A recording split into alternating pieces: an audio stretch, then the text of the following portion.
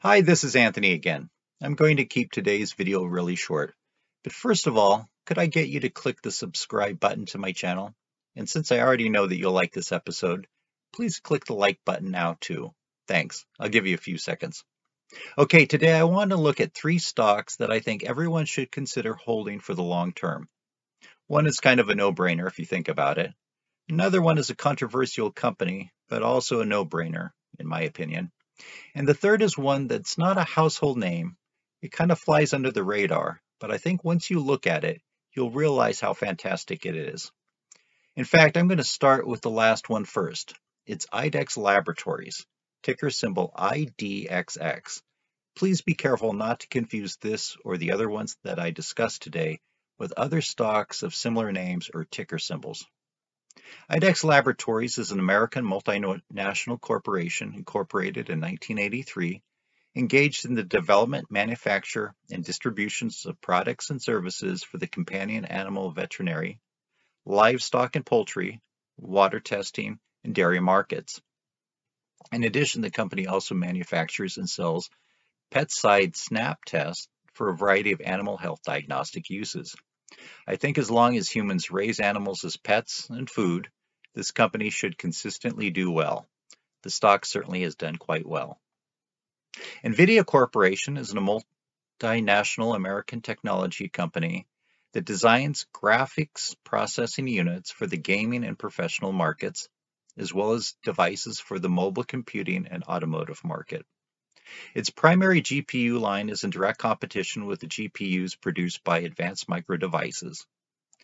NVIDIA expanded its presence in the gaming industry with its handheld game consoles, Shield Portable, Shield Tablet, and Shield Android TV, and its cloud gaming service, GeForce Now.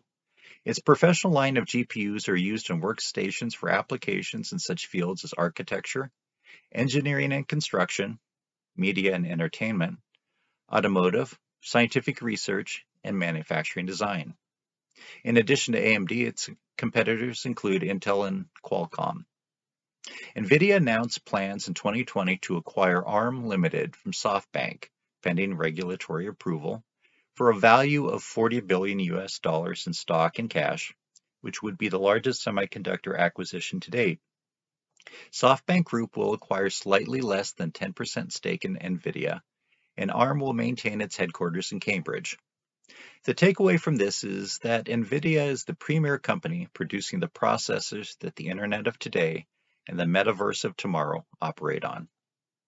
Meta Platforms Incorporated, doing business as Meta and formerly known as Facebook Incorporated, is a multinational technology conglomerate that is the parent organization of Facebook, Instagram, and WhatsApp, among other subsidiaries. Meta is one of the world's most valuable companies and is considered one of the big tech companies in US information technology, alongside Amazon, Google, Apple, and Microsoft.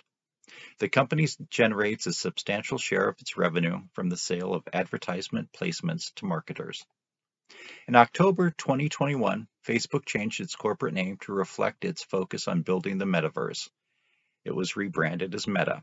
The word meta comes from the Greek language and means beyond, indicating the futuristic motives of the company. Love them or hate them, but millions of people throughout the world use one or more of their products, and that doesn't look like it will change anytime soon. For full disclosure, I own a small number of shares in all three of these, totaling between $1,000 and $3,500 per company. Again, if you like this type of content, it would really help me out if you subscribe to this channel and like my videos. Comments to them are also welcome. And you can find me on Instagram at Anthony R. R. Mills. Thank you very much for your time.